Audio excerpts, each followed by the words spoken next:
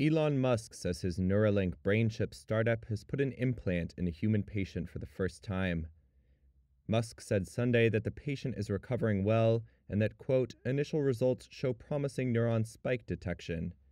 Spikes are activity by neurons, which use electrical and chemical signals to send information around the brain and to the body. It's been a bumpy road for Neuralink to reach this point.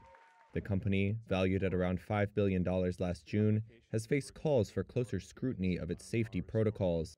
Reuters reported earlier this month that the company was fined for violating federal rules on the movement of hazardous materials.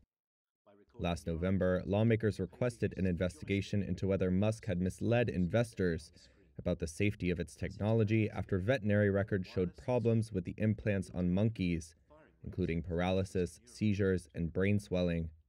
The U.S. Food and Drug Administration cleared the company to conduct its first human trial last year.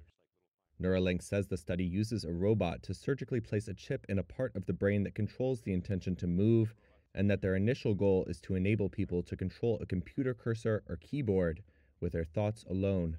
Musk said on X that Neuralink's first product would be called telepathy and that, quote, initial users will be those who have lost the use of their limbs.